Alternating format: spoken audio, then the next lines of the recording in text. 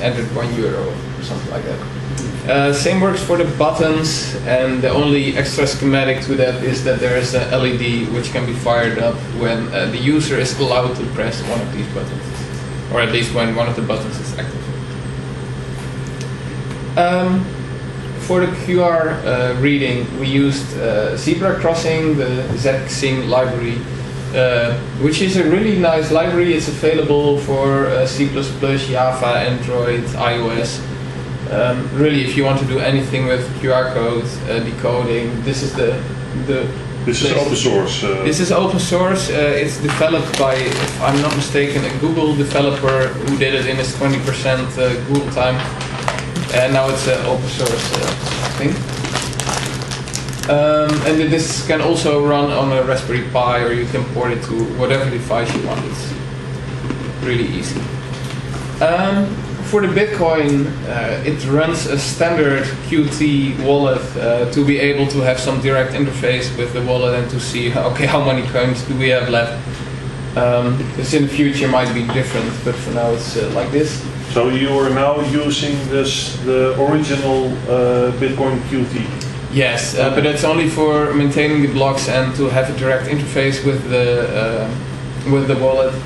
Um, the actually the, the application uses the Bitcoin D, which is a, a remote RCD.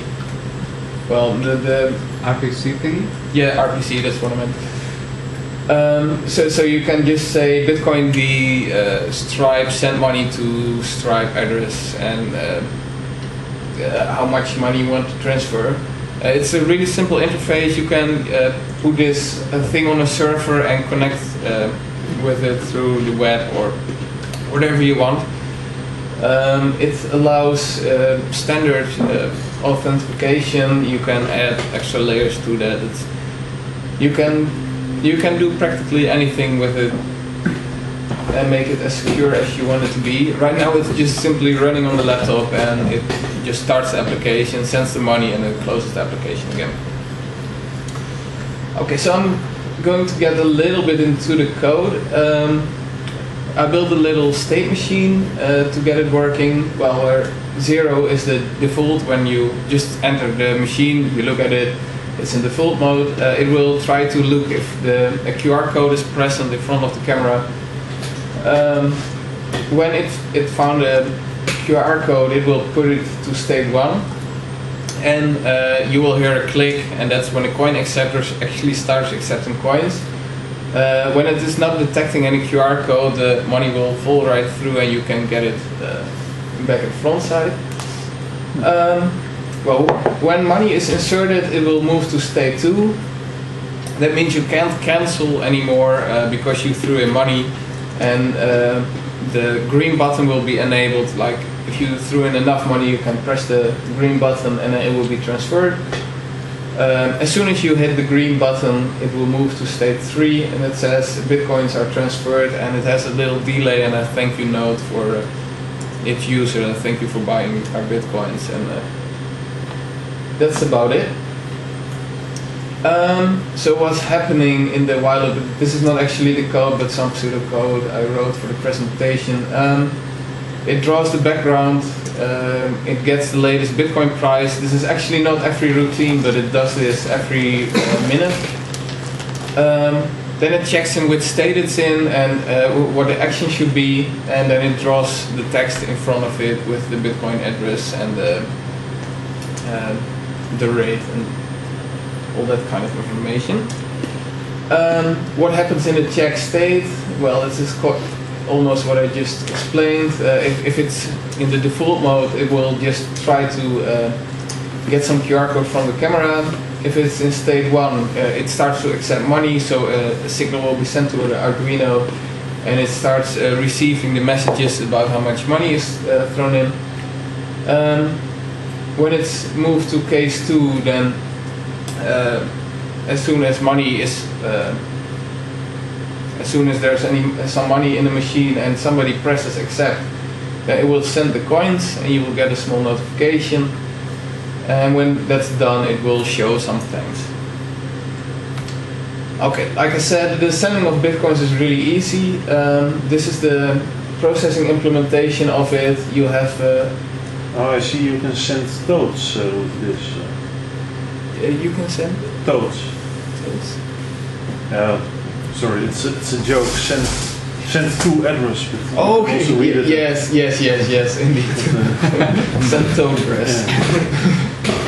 Um, but you you call the program, you say uh, your RPC password, uh, which can also be on a remote server, by the way. Um, then the address, which was just scanned and uh, interpreted by the program, uh, it converts the amount to a string, so the command line will know what it is, and then you just run the parameters through the program. And it will execute it. Um, well, getting the latest uh, price. Uh, th- this is the, the most simple. First, I was uh, I always like getting as low level as possible, so I wrote a little socket program which uh, gets the uh, JSON string uh, from the website. Uh, it removes the headers, it analyzes the, the JSON, and then it returns it.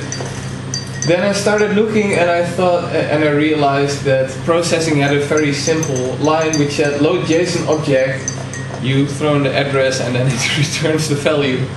Um, so for now, this is it. Uh, on the Raspberry version, it will actually have the socket connection. Um, but the, really, this is the, the easiest way to uh, get it running. Bitcoin average uh, is that the the index uh, of Mount Gox and and other? Yes, um, Okay. It's a Bitcoin average average. Uh, Yeah. yeah. Yeah. Okay. It takes all the exchanges, takes the average, but you can also be like, okay, we want to. Right now, I'm working on the uh, implementation of Bitstamp, Mhm. so we don't have to have all the coins available. Mhm. Um, and when you can say then, okay, I want to get the Bitstamp price, uh, add a little to it, and then um, show it to the user, and then you can buy the bitcoins immediately when the uh, user has accepted to buy it. Um, on Friday, we had a talk with uh, Bitonic, who would also be interested in building an API. And it will be great to have an interface to that, so you don't need to manually send bitcoins to the uh, ATM and then uh, retrieve them again or get the. Uh, it, it's just more hassle, and it, you you uh, wear the uh, risk of the Bitcoin dropping a lot after you bought it and you're not getting the right price for it again. So is really something we're planning working on. So that brings us to the future plans. Um, well, the next thing that will be implemented is the coin acceptor. Uh, this will be implemented within a month, uh, and then we can accept up to uh, 50 euro bills. Um, Yeah, you mean the uh, node acceptor? Yeah, what did I say? It- uh, I, I thought you said coin acceptor. Um, I, I meant node Yeah. acceptor indeed, uh, that the coin acceptor is already in there.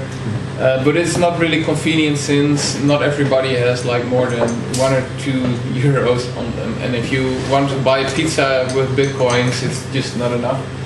Um, so this will be soon. Um, what would be really nice is to have a card terminal in there. Um, and we had some communication about it with the bank uh, this week, and it's very likely to have this implemented by January. And this would also uh, open a door to uh, transferring the bitcoins to uh, euros again, because you can enter your card, say how much uh, bitcoins you want to convert again. You send the bitcoins to uh, a newly created address, and then it can transfer it to your uh, bank account. So this would mean people can stand in front of this ATM all day, like it would be a stock exchange, buying and selling bitcoins. we don't know if that, that will happen. This uh, this uh, terminal, uh, any idea? Is it is that open? I mean, do you have to buy a certain terminal from a certain company, or is Um, it? Uh, Well, the, the, the terminals itself are really not open. I, I think the source code should be somehow open uh, to prevent people from breaking into it, uh, but w- we wouldn't have access to it. Um, but you have usually a very easy interface like USB, serial, or Ethernet, uh, where you can say transfer money to or from uh, this account and how much money it should be. so Uh, I mean, if I start a new company, I can also build these terminals. Um, yes, but I think you do need a lot of certificates and licenses Oh, yeah. to actually like connect Yeah, to okay, bank. okay. But there are some um, some solutions to it. Okay, but to say like this, I don't completely have to trust the black box. It, it is, if I want to, it can be open.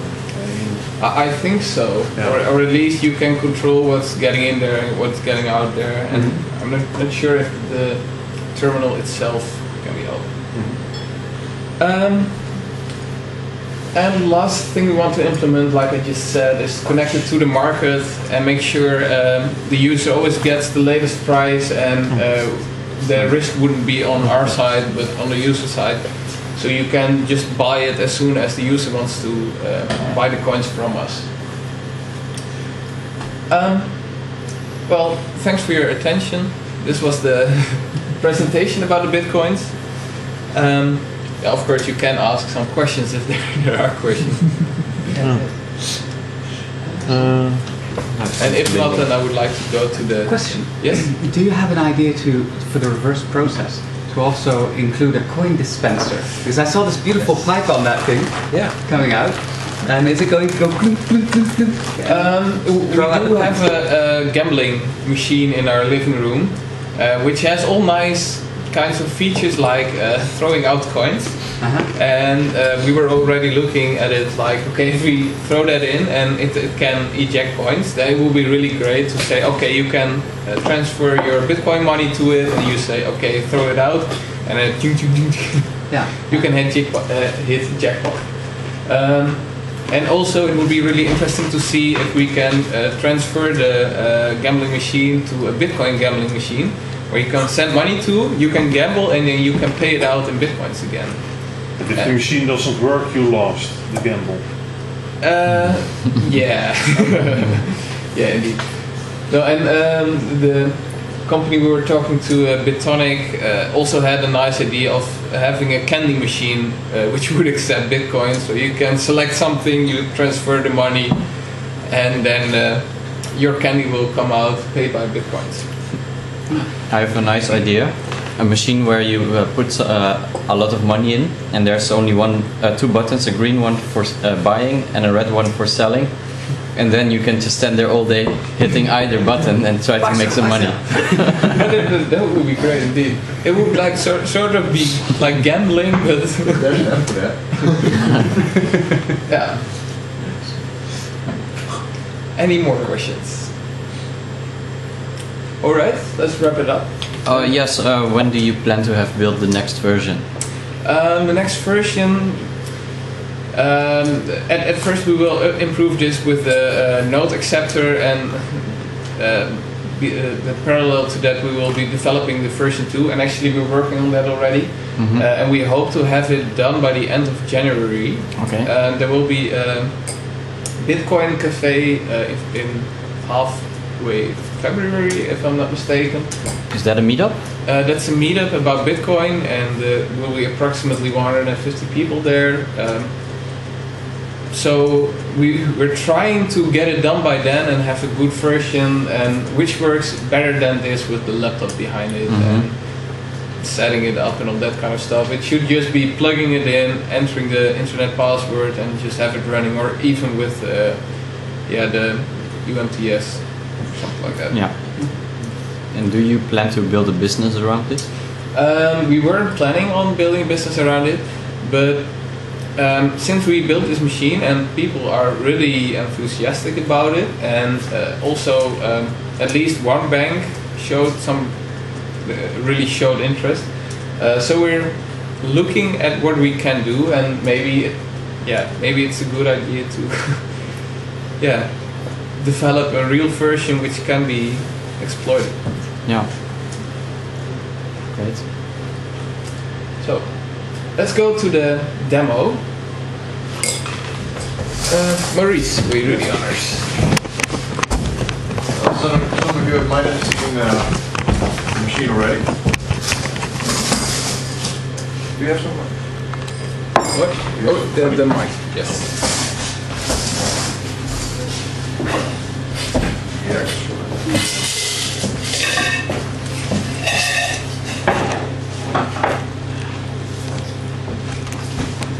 So this uh, machine works quite simple, actually. I have an app on my phone. Uh, for now, it's only Android, but uh, we're planning on uh, making something work for iPhone users as well because iPhone doesn't allow it. So I got the Bitcoin app, my Bitcoin wallet. This is my Bitcoin address, and I can scan it here. You see the lights light up, so it confirms that I've got my address. And now I can just add in money yeah, as much as I wish actually by uh, Bitcoin.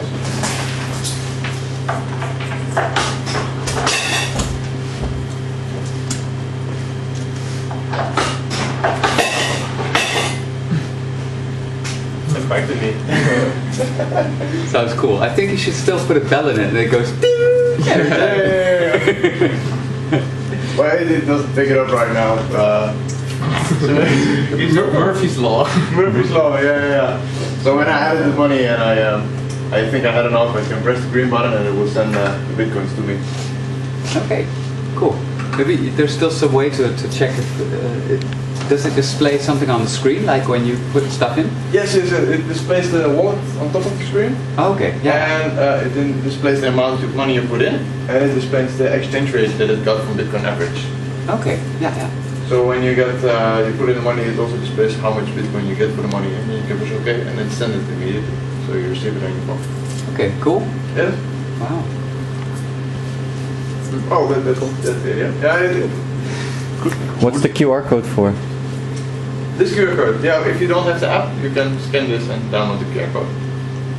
All right. Uh, Is the QR code for the Bitcoin wallet? Yeah, yeah, yeah. So you can scan it and you get this program from the Ah, Google Play Store. right.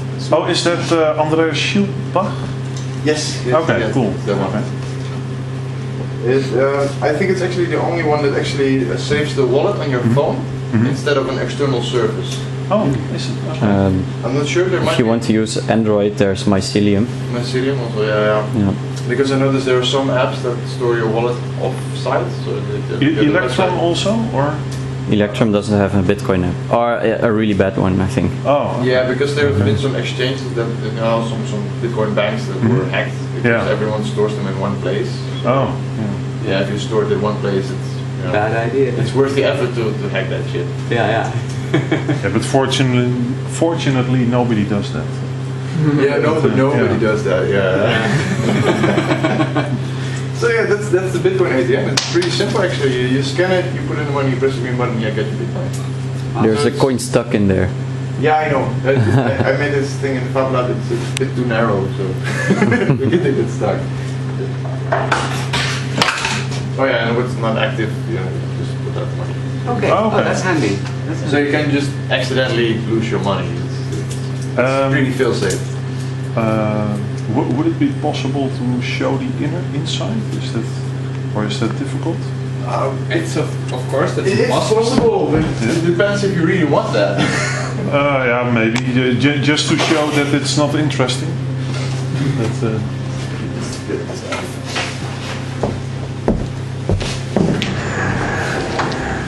is er nog steeds beeld? Ja, nee, nee. Nee? Oh. Wacht even. Wil jij even?